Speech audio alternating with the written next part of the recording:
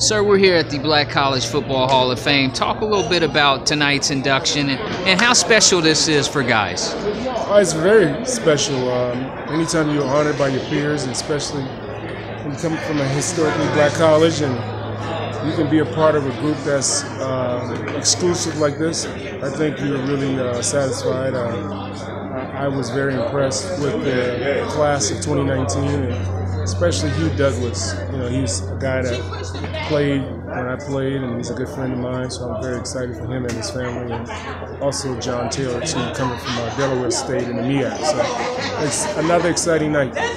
Induction night. What, what's it like getting inducted? What was it like for you personally? Uh, just exciting. You not not knowing what the night is really going to entail, and you know, just being honored, just being in the meetings during the day, and getting a chance to meet the other Hall of oh, Famers. It's, it's very exciting. So, you know, I'm a I'm a vet now at this, so you know it, it's, it's it's it's good to be a part of it. So I'm very excited. Nice jacket. Oh yeah, thank you, man. You can't buy this in the store. you got to earn that. No huh? doubt, no doubt. Thank you, sir. All right. All right.